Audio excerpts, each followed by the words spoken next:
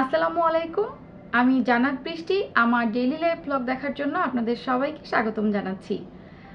আজকে আসলে আমার লেজি মর্নিং যাচ্ছে, সকালে ঘুম থেকে উঠেছি, আজকে শুক্রবার, আর রান্নাবান্নাও নেই। রান্নাবান্না নেই বলতে আজকের খাবারটা বাইরে থেকে আসবে। এই জন্য ভাবছি যে আজকে সকাল সকাল উঠে আগে কিছু এডিটিংয়ের কাজ সেরে নেই, কারণ আমার অনেকগুলো ব্লগ এডিটিং বাদ পড়ে আছে। শুটিং করে রাখছি, কিন্তু এডিটিংয়ের অলসতায় আসলে সেগুলো আপলোড দিতে পারছি না। গোল্ড স্পনের কাজ নিয়ে মেনলি বেশি ব্যস্ত। নিশ্চয়ই আপনারা আমাদের নতুন চ্যানেল গোল্ড স্পনটা দেখেছেন। আর আশা করি গোল্ড স্পন চ্যানেলটা সাবস্ক্রাইবও করেছেন। সেখানে কিন্তু আমি বিভিন্ন রকম স্ন্যাক্সের রেসিপিগুলো আপলোড করে থাকি। প্রতি সপ্তাহে অন্তত দুইটা রেসিপি আমি সেখানে আপলোড করার চেষ্টা করি। আর আমার এই জান্নাত বৃষ্টি ব্লগিং চ্যানেলটা এখানে মেনলি আমি আমার ডেইলি লাইফ ব্লগগুলো আপলোড করে থাকি। বা ভবিষ্যতে ইচ্ছা আছে, আমার প্রতিদিন আমি কি করছি, না করছি, এগুলোই আপনাদের সামনে তুলে ধরা। তবে চেষ্টা করব অবশ্যই যেন প্রতিটা ভিডিওতে আপনারা কি চাচ্ছেন সে জাতীয় কোনো মেসেজ রাখার। অনেকেই আমাকে বলেন যে, আমি কীভাবে এডিটিং করি, কোন সফটওয়্যার দিয়ে এডিট করি? এই প্রশ্নগুলো। আসলে আমি আপনাদেরকে আগেও বলেছি, আমি এডিটিং করি ফাইনাল কাট প্রো এক্স দিয়ে। এটা মোবাইলে সম্ভব না। অনেকে আমাকে জিজ্ঞেস করেন যে মোবাইলে সম্ভব কি না এই অ্যাপস দিয়ে এডিট করা। না, এটা মোবাইলে সম্ভব না। আপনাকে অবশ্যই পিসি অথবা ল্যাপটপ প্রয়োজন হবে। এবং অবশ্যই সেটা অ্যাপেলের প্রোডাক্ট হতে হবে। আই মিন ম্যাকের প্রোডাক্ট সো এটা আপনাদেরকে বুঝতে হবে যে এডিটিং অনেকে শিখতে চান আমার কাছে। এডিটিং জিনিসটা আসলে একদিনে শেখার কিছু না। কারণ আমি নিজেও এডিটিংয়ের আসলে কিছুই জানি না। আমি খুবই সামান্য জানি, সেটা দিয়েই করছি, প্রতিনিয়ত শিখে যাচ্ছি। আমার শেখার হেল্পিং হ্যান্ড সেজার বাবা। সেজার বাবা মোটামুটি এডিটিং পারে এবং ও শিখছে। ও প্রতিনিয়ত রিসার্চ করে, শেখে, নতুন নতুন জিনিস জানে এবং সেগুলো আমাকে জানায়। আর সেই সাথে শেখার জন্য তো ইউটিউব রয়েছেই। আপনাদের যে কোনো প্রবলেম যে কোনো বিষয় যেটা আপনারা জানতে চান, শিখতে চান, ইউটিউবে কিন্তু খুব সহজেই সার্চ দিয়ে সেটা আপনারা দেখে শিখে নিতে পারেন।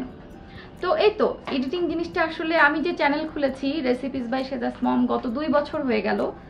আমি এখন এডিটিংয়ের যে পর্যায়ে আছি, এটা কিন্তু আমার গত দুই বছরের ফসল। সো আপনাদেরকে এটা মাথায় রাখতে হবে যে যে কোনো জিনিস একদিনে সম্ভব না। এটা অবশ্যই আপনাদেরকে চেষ্টার মাধ্যমে শিখতে হবে দিনে দিনে। আর আজকে আমার যেহেতু অনেকগুলো ব্লগিং এডিট বাদ পড়ে আছে সো সময় আমার হাতে অনেক কম, যেহেতু আজকে একটু তাড়াতাড়ি ঘুম থেকে উঠেছি, তাই চেষ্টা করব দুপুরের আগেই কিছু ভিডিও এডিটিং শেষ করা। এখন এডিটিংয়ে যাচ্ছি।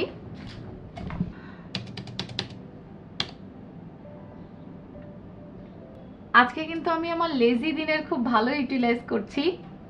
আমাকে অনেকে আপনারা বলেন যে প্রতিদিন ব্লগ দিতে, কিন্তু আসলে প্রতিদিন দেওয়াটা ওইভাবে পসিবল না। কারণ ওই যে বললাম, আমার অনেকগুলো চ্যানেলের কাজ আমাকে মেনটেন করতে হয়। আর তাছাড়া সে যা, এখানে কিন্তু সে যা ভয় পাচ্ছে ওই দিন যেদিন আর কি শ্যুটটা করেছিলাম ওই দিন অনেক বৃষ্টি হচ্ছিল। তো ও যে আকাশে যে মেঘটা চমকাচ্ছিল না, ওটা দেখে সে অনেক ভয় পাচ্ছিল। আসলে যখন এই ভিডিওগুলো মানে বিশেষ করে ব্লগিং ভিডিওগুলো যখন থেকে করা শুরু করেছি, তো এই ভিডিওগুলোতে বিশেষ করে সেজার যে শ্যুটগুলো নিয়ে থাকি, ওগুলো কিন্তু আমি এডিট করতে গিয়ে পরে নিজেই হাসি। মানে আসলে এইগুলো একটা স্মৃতি। আমার কাছে মনে হয় যে সেজাকে আমি আবার নতুন করে দেখতে পাচ্ছি। যেই মুহূর্তটা আমার সাথে অলরেডি ঘটে গেছে, সেই মুহূর্তটাকে আমি আবার রিকল করতে পারি। এই ব্লগিংগুলো এডিট করতে কিন্তু আমি অন্যরকম মজাও পাই। আর এই জন্য আমার সময়টাও বেশি লাগে। কারণ আমি এডিটিং এর থেকে এগুলো দেখি বেশি। মানে পুরনো স্মৃতি ভিডিওগুলো দেখতে ভালো লাগে। এই আর কি। আর আপনাদেরকে আরও একটা জিনিস জানিয়ে রাখি, আমাদের কিন্তু এই ভিডিওটা ছিল, আমরা এই খাবারটাও বাড়ি থেকে এনেছিলাম। ঢাকায় কি চলে পাক্ষি চলে। তো আমরা বেসিক্যালি পাক্কির রেসিপি তৈরি করার জন্য এর আগেও একদিন পাক্কি অর্ডার করেছিলাম, ওই দিনও করেছি।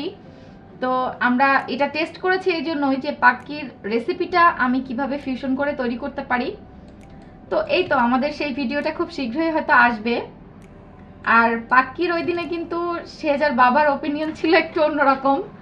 কারণ পাক্কি আসলে এক একজনের কাছে এক এক রকম মনে হতে পারে। কারণ এটা খুব একটা স্পেশাল বিরিয়ানির মতো অতটা মশলাদার হয় না। সেজার মামাও সেদিন পাক্কি খাচ্ছিল। কারণ সবাই বলে সেজার মামা নাকি খায় না, ভিডিওতে থাকে না। আমি চেষ্টা করব প্রতিটা ভিডিওতেই সেজার মামাকে টুকটাক রাখা। আসলে ও কিন্তু অনেক সাই দ্যাটস ও ভিডিওতে আসতে চায় না। এডিটিংটা সেরে নিই আর এর মাঝে আমাদের দুপুরের খাবার হয়তো চলে আসবে। আজকের খাবারও কিন্তু আসছে ক্রেজি কিচেন থেকে।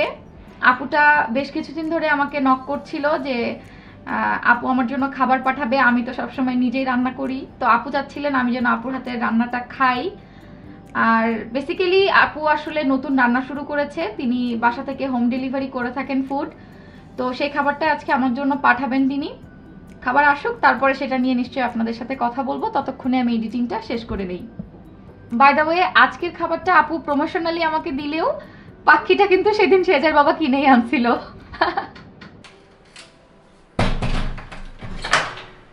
আমাদের দুপুরের খাবার চলে আসছে।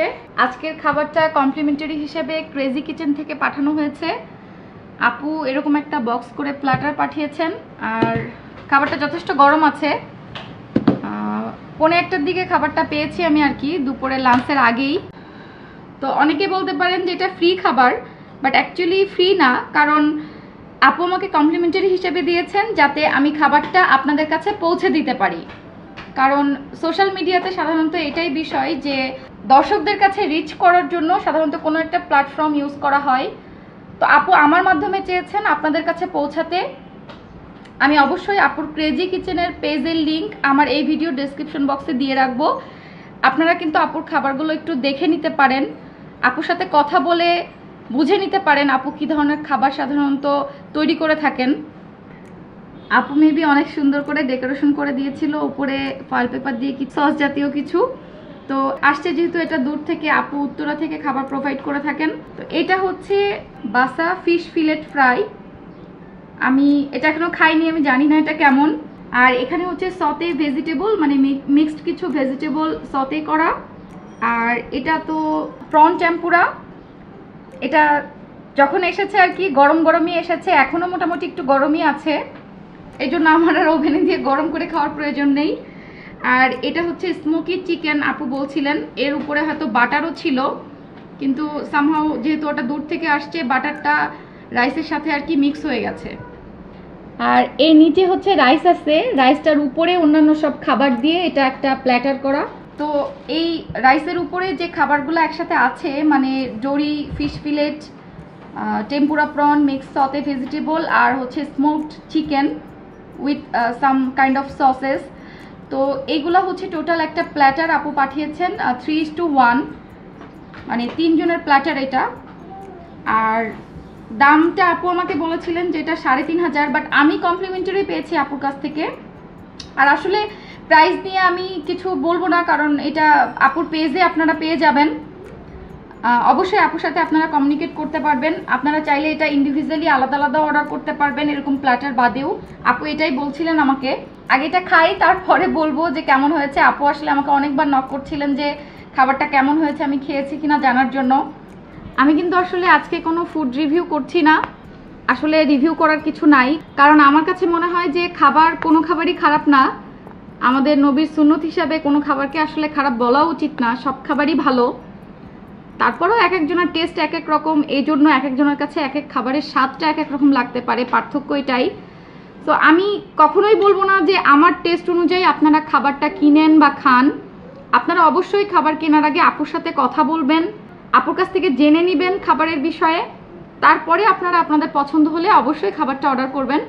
আমি সাধারণত নতুন যারা কাজ করছে, তাদেরকে একটু উৎসাহ দেওয়ার চেষ্টা করি। কারণ আমি জানি যে প্রথমে কাজ করাটা, শুরু করাটা কোনো একটা একটা মেয়ে হিসাবে একটা বিজনেস শুরু করাটা কত স্ট্রাগেলের বিষয়।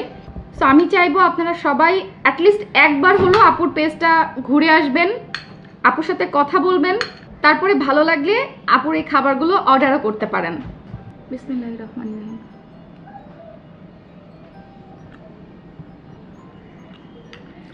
আপনাদেরকে একটা মজার কথা বলি। আমি কিন্তু নর্মালি বাসা ফিশ প্লেট খুব পছন্দ করি। আমার ফ্রিজে এখনও ডিপ করা আছে। সে যার বাবাও এটা অনেক পছন্দ করে। তো এইবার রোজায় মানে রমজানে, আমরা বেশিরভাগ রোজাতে ইফতারি করেছি আর কি বাসা ফিশ ফিলেট আর সাথে ফ্রাইড রাইস করে। এটা অনেক মানে স্বাস্থ্যকর, পুষ্টিকর আর খেতেও মজা আর কি। আর যেহেতু আজকের মেনুতে আপু কি পাঠাবে আমি জানতাম না, আপু আমাকে অনেকবার জিজ্ঞেস করেছে যে আমি কি খেতে চাই, কি পছন্দ করি, সে সেটাই পাঠাবে।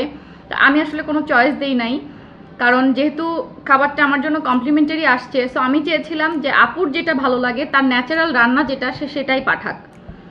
আর খাবারের টেস্ট আসলে আমি যেহেতু রান্না নিয়ে কাজ করি, তো এই জন্য খাবারের টেস্ট বা কোন খাবারে কোন মশলা ব্যবহার করা হয়েছে, কতটুকু কি করলে ভালো লাগতো, এর জ্ঞান একটু টুকিটাকি আমার আছেই।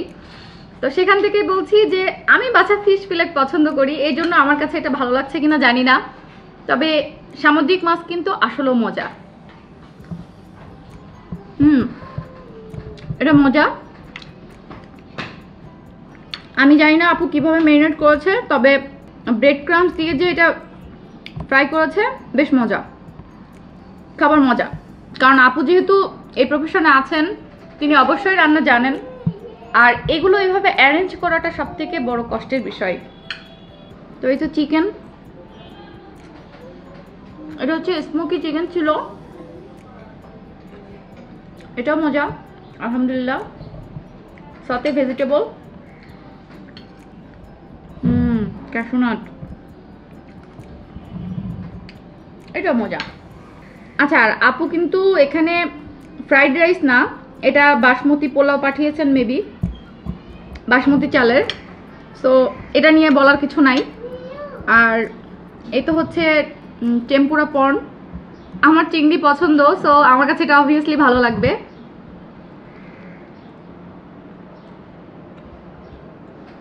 হুম, টেম্পুরা দিয়ে কিন্তু চিকেন ফ্রাই করলেও মজা লাগে। সো টেম্পুরা জিনিসটা এমন এটা বাজারে কিনতে পাওয়া যায় প্যাকেটে। এটা দিয়ে আপনি চিংড়ি ফ্রাই করেন আর চিকেন ফ্রাই করেন, অনেক মজা হয়। সো এটাও মজা। খাবার বেসিক্যালি সবগুলোই মজা। আর আপু কিন্তু মেনলি সি ফুড নিয়ে কাজ করেন। আপু বলছিলেন যে করোনার সময় সি ফুডগুলো কালেক্ট করতেও তার অনেক কষ্ট হচ্ছে। সব কিছু ইম্পোর্টেড কালেক্ট করে থাকেন তিনি। আপনারা প্লিজ আপুর পেজটা একবার চেক করে আসেন। ভালো লাগলে আপুর সাথে কথা বলেন এবং এই মজার মজার খাবারগুলো অর্ডার করে খেতেও পারেন। আমি এখন দুপুরের লাঞ্চটা শেষ করি তারপরে আপনাদের সাথে কথা বলব।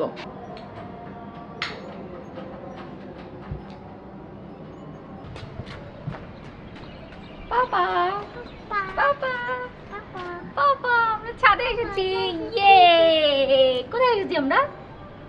চিং কোথায় এসেছি? ওকে ওকে ওকে কোথায় এসেছি সেটা বলো। তোমার ফেভারিট প্লেস ছাদে? ইয়ে ইয়ে বিকেলে আমরা চলে এসেছি ছাদে। ছাদে সে যা কিছুক্ষণ ঘোরাঘুরি করে, খেলা করে। তারপরে সন্ধ্যা হলে আমরা আবার নিচে চলে যাব। এই টাইমটা সে যার খেলার টাইম। আম্মা?